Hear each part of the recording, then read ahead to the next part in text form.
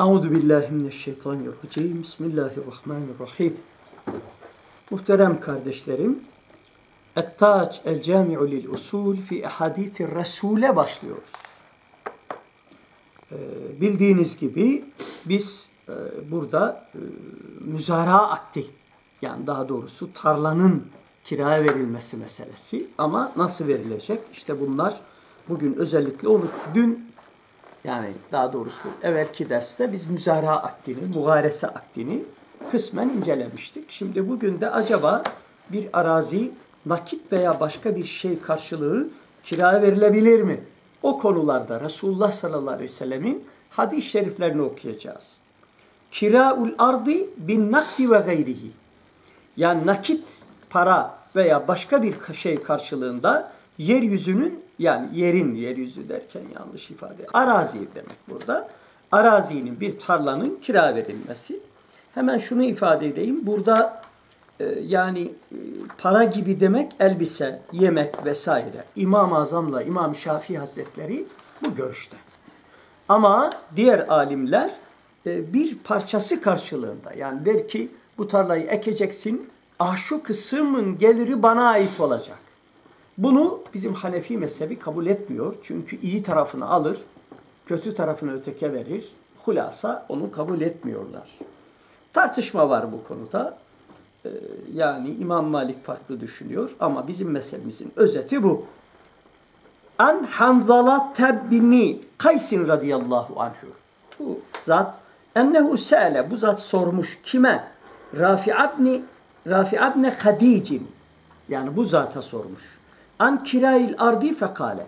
Acaba bir araziyi kira verebilir miyim diye sormuş. O da demiş ki Neha Resulullah sallallahu aleyhi ve sellem anhu. Resulullah bunu yasaklamış. Ama hangi manada? Medinelilerin yaptığı manada. Eskiden.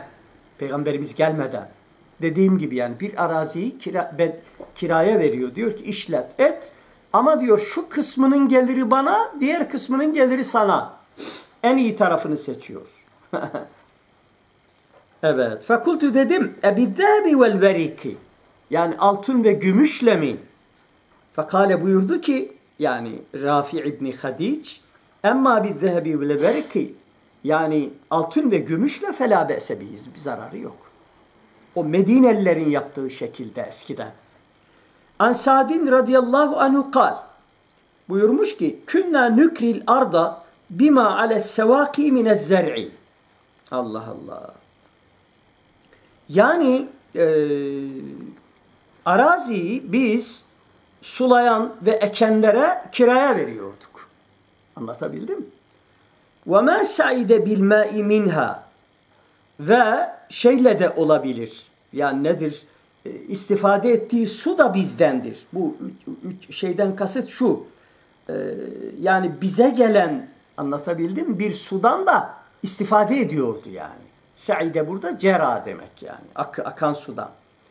Ve fi rivayetin Nesai, Nesai'de ise fahtasamu fi ba'di zalike. Bu konuyla alakalı sahabeler tartışmışlar.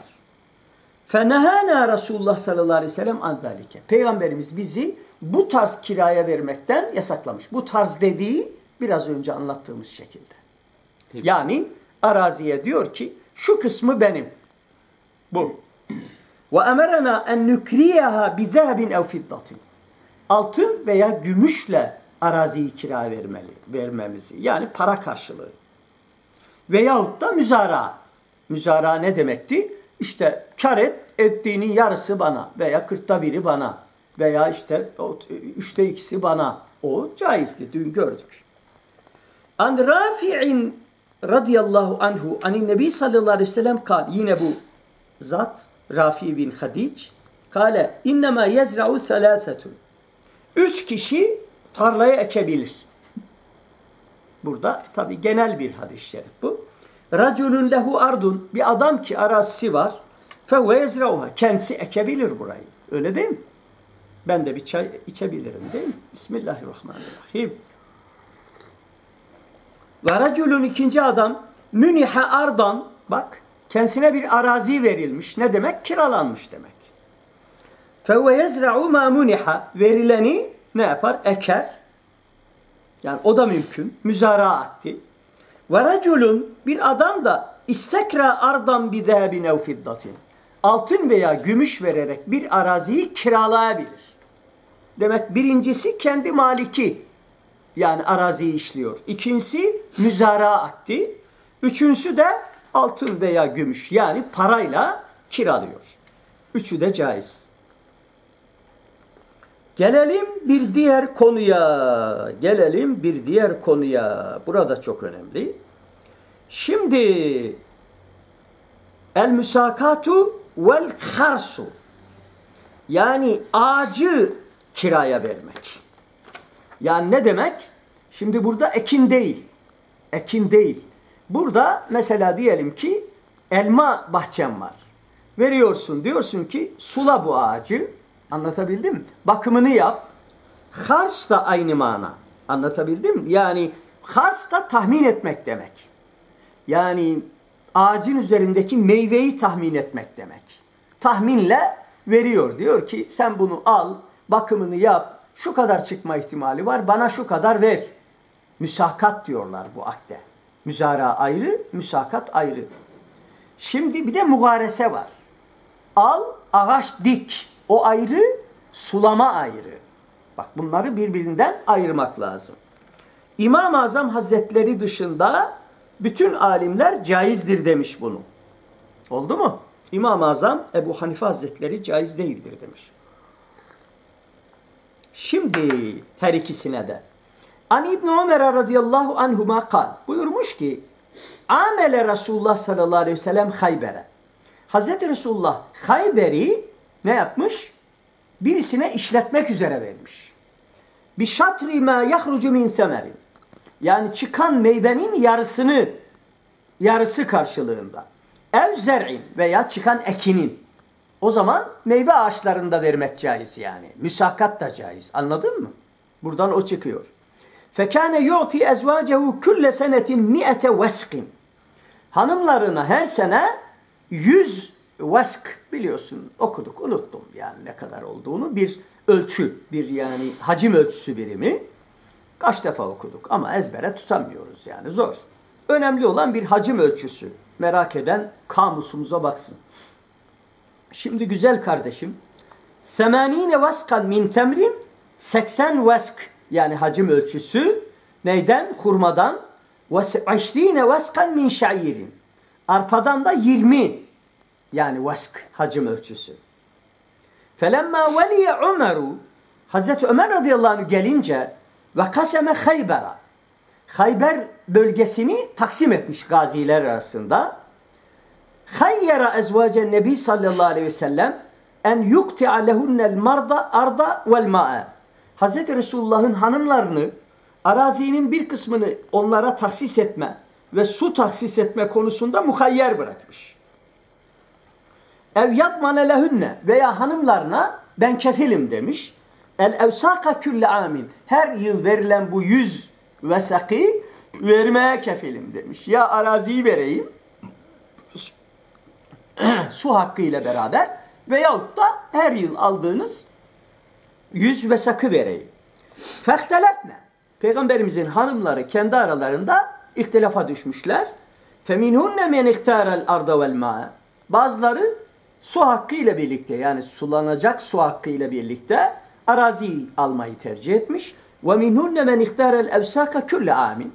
Birisi de bazıları da her sene bana şu yüz vesakı verin kafi demiş. Fekânet Ayşetu ve Hafsatu ihtâretel arda vel ma'a. Hazreti Ayşe ve Hafsa radıyallahu anhuma hem arazi tabi su hakkı ile beraber tercih edenlerden olmuş. Demek ki caiz yani. Ondan onlar da nasıl sonradan verdiler kiraya bilemiyoruz. Güzel. Müsakatı anladık değil mi?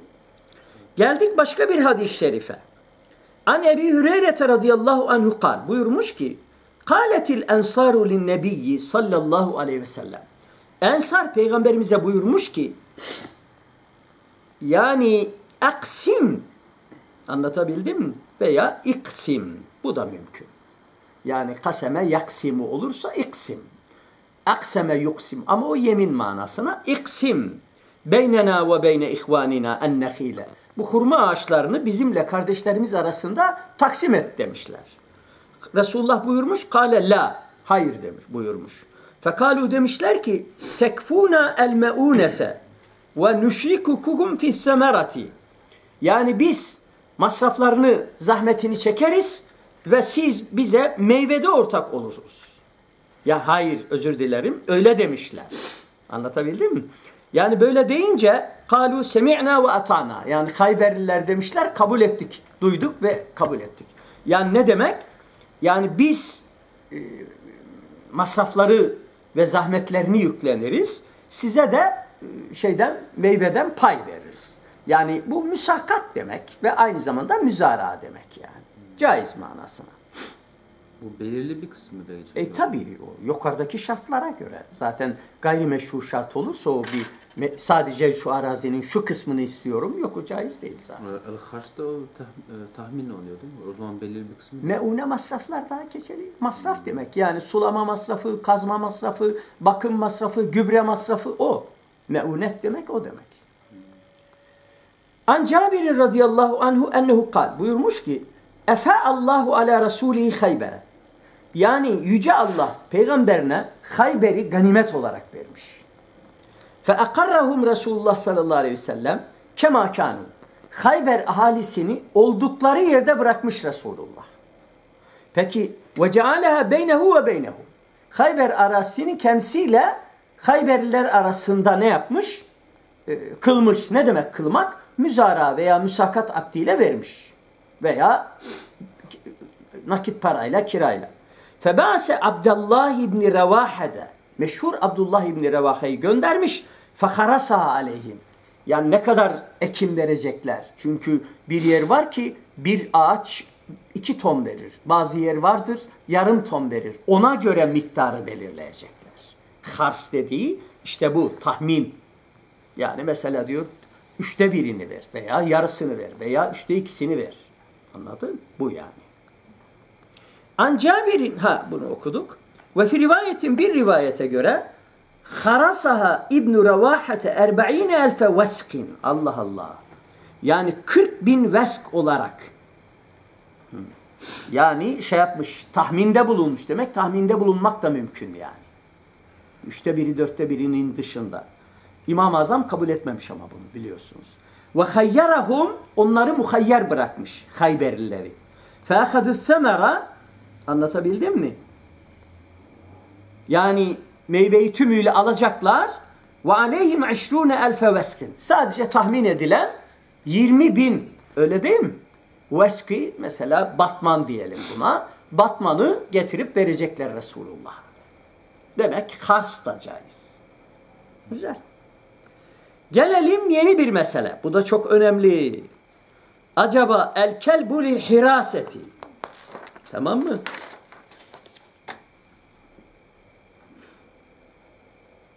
Ya burada ilginç bir şey. Yani e, korumak için köpek kiralama. Veya vel bakaru lil harsi. Öyle değil mi? Ekin ekmek için de inek kiralama. Anlatabildim mi? Allah Allah. Çok enteresan. Demek ki evi korumak, ekini korumak, davarları korumak veya av. E, yani inek de biliyorsunuz ya nesli için kiralanır veya yeryüzü şeyi araziyi e, sürmek için öküz tabi burada bizde genellikle öküz kiralanır. Gerçi biz emanet alırız da fazla kiraya da aldığımız oluyordu biliyorum bazıları. Hiç öküzü yoksa bir ök, iki öküzü de kiralayabilir yani. An Ebi Hüreyre radıyallahu anhu buyurmuş ki anin Nebi sallallahu aleyhi ve sellem kal Resulullah buyurmuş men iktena kelben.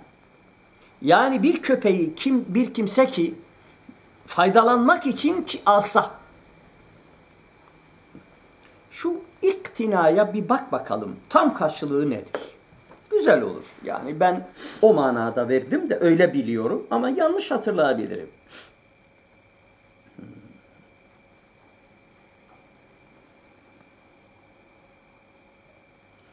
Kiralamak demek. Yani faydasını temin etmek üzere.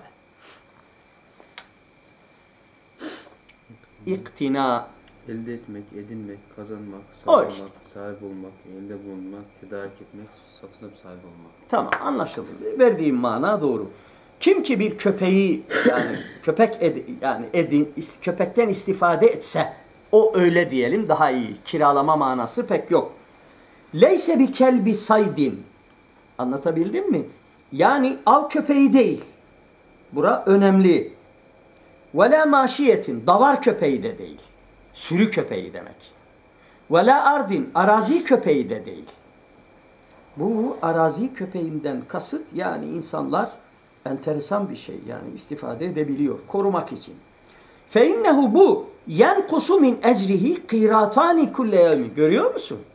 Her gün iki kırat yani eğer köpeği eh, köpekten istifade ediyorsa bir adam iki kırat ücretinden eksilecek. Yani demek ki köpeği kiralıyor yani. Caiz bu. Başka bir şey. Men emseke kelben bir kimse bir kelbi tutarsa yani iş- işletir çalıştırırsa fe innehu yenkusu külle yevmin min amelihi kıratun. Allah Allah. Yani yaptığı işten her gün bir kırat eksilir. Yani o başkasının köpeğini işletiyor ya. ha. İlla kelbe ganemin. Ancak sürü köpeği ise, ev harsin veya ekini koruma köpeği ise, ev saydin veyahut da av köpeği ise o zaman böyle bir şey söz konusu değil. Kırat biliyorsunuz şey, e, yani bir çeşit işte bir şey. Bir ölçü birimi. Anlatabildim mi? Ölçü birimi. Allah Allah. Neden bundan istifade etme yasaklanıyor? Çünkü kablar pisleniyor. Geçenlere gelenlere zarar veriyor. Çocuklara zarar veriyor. O zaman istifade edince ücretinden eksik alınıyor yani. Çok enteresan bir şey. Peki. Ve anhu yine Ebu Hüreyre'den. Anin Nebi sallallahu aleyhi ve sellem kal. Resulullah buyurmuş. Kale buyurmuş ki Beynema raculun rakibun ala bakaretin. Allah Allah. Bir baktık ki bir adam var ineğin üzerine, sığırın üzerine dersek daha güzel yani. Ama ineğin üzerine pek binilmez. İltefetet ileyhi Allah Allah. İltefetet ne demek yani? Yani onun üzerine binmiş yani manasına. İltefetet dediği o. Ha, çok özür dilerim. Ne bakmana gerek yok. Mana açık da kafa çalışmıyor bugün. Anlatabildim mi? Yani hiç bunu düşünemezdim. Bir ara bir adam in, sığırın üzerine yani ineğin üzerine binmiş. Fe- İltefetet ileyhi fekalet. O sığır o adama döndü şöyle dedi. yani şey tabi bu herhalde bir mecaz mana olsa gerek veya istihare. Lem uhlak lihada. Ben bunun için yaratılmadım. Et ve süt için yaratıldım. Niye üzerime biniyorsun? Huliktu lil hiraseti. Yani bu öküzmüş demek ki. Çünkü biz e, dişi sığırı koşmayız çifte. Ben ekini sürmek için yaratıldım. Kale Allah Allah. Diyor ki bu Ebu Hüreyre amenet bihi ene. Ben de inandım o öküze. Ve Ebu Bekri Ömer'u. Bunlar da inandı. Ve ehede dibu şaten. Bir zaman da bir kurt bir koyunu tuttu, yakaladı. Fetebi'aha er-ra'i. Çoban onu, bunlar tabi hatıra yani. Anlatabildim mi? Nakletmişler peygamberimizden yani. Bu böyle olaylar olduğuna dair. Ha. Çobanı yani çobanı takip etmiş. Özür dilerim. Çoban o kuzuyu veyahut da koyunu takip etmiş. Fekale bu kurt da demiş ki ona bu peygamberimizin naklettiği hikayeler yani. Mellaha yevme seb'i Allah Allah.